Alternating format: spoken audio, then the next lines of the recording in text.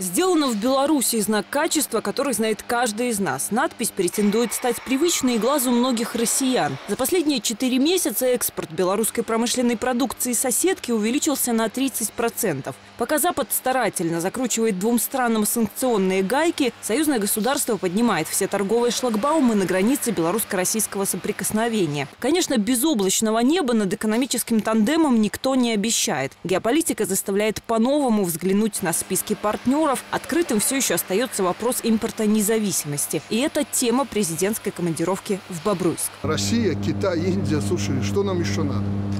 Поэтому вот я хочу, чтобы директора не забывали, что в этом направлении нам надо очень серьезно поработать. Но без вас ничего не будет.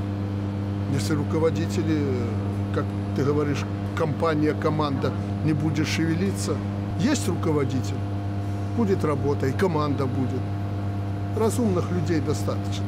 Но все от вас зависит. Мы будем поддавливать вас неимоверно. Импортозамещение для нас шанс. С одной стороны шанс, а с другой стороны тяжелая работа. Хотите, не хотите, этим придется заниматься. Топ-менеджеры белорусских промышленных флагманов – локомотив наших экономических интересов. Не мудрено, что именно к ним президент обращается, анализируя новую экспортную стратегию. БелАЗ, МАЗ, МТЗ, Агромаш, Гомсельмаш и десятки других отечественных компаний сейчас могут не просто выгодно продать, но и нарастить компетенции. Заменять чужое на свое многие белорусские производители начали не вчера, а задолго до. Бобруйск Агромаш, например, за пять лет свел процент иностранного в своей технике к единице. БелАЗ вот-вот готов представить стопроцентный белорусско-российский образец. МТЗ обеспечивает 12 отечественных холдингов востребованными деталями. Мы работаем в этом направлении как постановщик э, задач для нашего промышленного комплекса. Но в том числе и мы и сами занимаемся импортозамещением. Вот, например, из свежих примеров это Аршанский инструментальный завод. Инвестпроект пока не закончился, но мы уже освоили э, ряд инструментов и приспособлений для импортных станков. Также активно включился в эту программу наш завод «Шестерен». Вот э, все Эм, новое направление, которое сегодня у нас делает Амкадор, мы э, делаем для него комплектацию. Бобруйский завод тракторных деталей и агрегатов, он сегодня практически полностью закрывает потребность нашей промышленности, сельхозмашиностроения в колесных дисках. Импортозамещение на раз, два, три. Это не шутка, а тактика, и она должна сработать, уверены экономисты. Сперва заместить то, что имеет внутренние аналоги или потенциал их быстро произвести. Во-вторых, без промедления начать разработку более сложных и время затратных проектов, обращаясь к научным наработкам и незадействованному потенциалу. В-третьих, дать старт крупным инвест-проектам. Они хоть и не принесут отдачи сразу, зато в долгую сыграют эффективно. Таких инвест-проектов у белорусского и российского Минпромов к этому моменту 8. Задействованы и белорусские промгиганты, и компании поскромнее. К слову, задачу подтягивать отстающих и незагруженных к процессу импортозамещения Александр Лукашенко поставил на встрече в Бобруйске всем топом. Такие предприятия, их же много, их надо загрузить, чтобы они делали вам комплектующие. Надо на это смотреть, не упустите этот момент.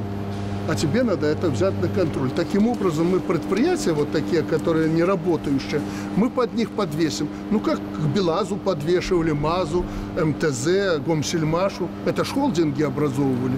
У нас же хороших предприятий достаточно.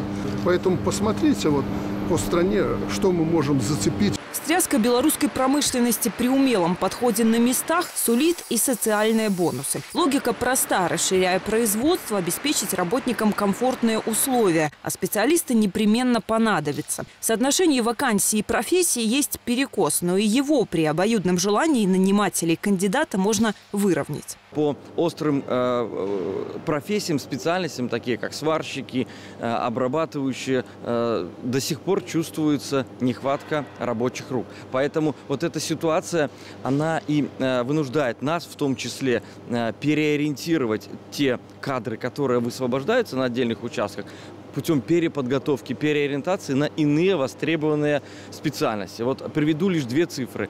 Даже сейчас у нас количество реально востребованных вакансий по Могилевской области 11 тысяч. Это в 10 раз больше, чем количество безработных. Конечно, отказаться от привозного одномоментно получается не везде. Впрочем, и стратегия состоит не в том, чтобы, вопреки здравому смыслу и окупаемости, ставить на поток единичные компоненты. Цель – выжить из собственной промышленности и науки максимум и прочно закрепиться на перестраивающемся рынке. Самый главный вопрос для нас сейчас импортозамещение. Китай, Россия и Индия, Вьетнам, Индонезия, азиатские страны, мы спокойно можем работать. Но это по отдельным только предприятиям, в том числе и Белшине. Это непростая э, обстановка, из нее мы должны, ну, как в народе говорят, красиво выкрутиться. Все остальное в Беларуси не проблема. Сельское хозяйство, э, другие направления, там мы работали и будем работать, и спрос громаднейший. Поэтому для нас сейчас надо выстоять. Мы для них конкуренты, мы путаемся у них под ногами. Поэтому одна из причин давления на нас – права человека и прочее – это все выдумка, это лозунг. Они же не скажут, что мы вас душим, потому что вы производите шины. Это же смешно будет. Нет, там права человека, у вас там диктатура и прочее.